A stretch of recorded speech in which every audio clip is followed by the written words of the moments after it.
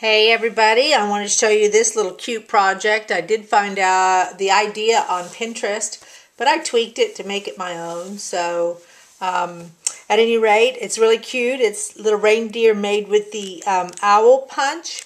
And then of course I put on the, the little flag there. It says reindeer noses. And it's Whoppers that I got at Walmart. And then on this other cute one, I actually put a cinnamon ball in there. And that represents Ray, uh, Rudolph's little nose. So really, really cute. So how I made it was pretty simple. I used the um, Framelits label collection. And you can see here that out of Real Red, I cut, used the biggest framelit, and I just cut a piece out of there. I put it through the Big Shot. And then um, this is crumb cake, and I cut it. This is the next size down of the framelit. And so then I folded this in half. Just like that. Zoom you back out. And that's how I got the piece that went over the bag.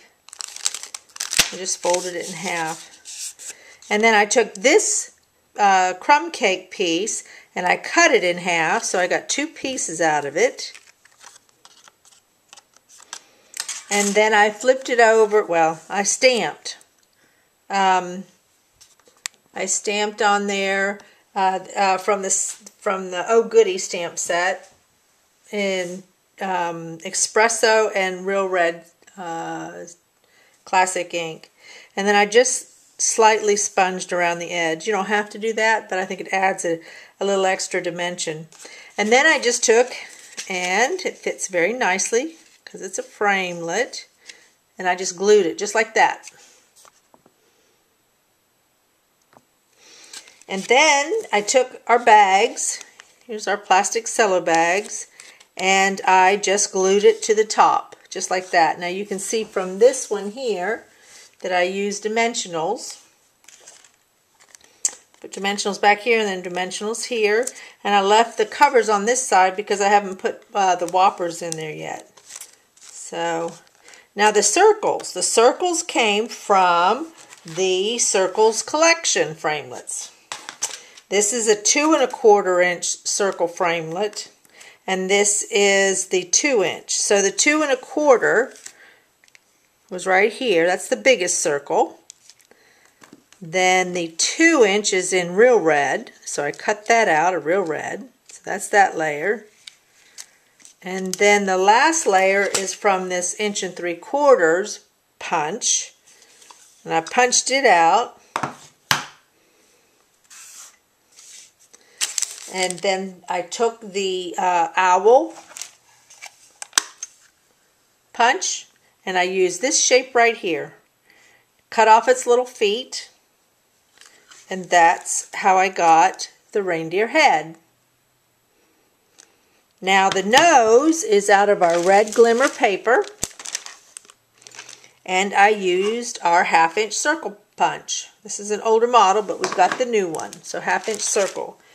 All right, and then the little um, antlers, um, I had the old snowflake punch. Maybe you have it too. Um, anything would do, any snowflake punch or even the uh, uh, bird builder punch. You could grab the leaves out of that and that would make a really cute um, antlers for uh, our, our little reindeer. The googly eyes, that came from just one of the stores, Michael's or wherever. I popped the little nose up on a dimensional and then the red was popped up and then the piece that went on the front of the framelits.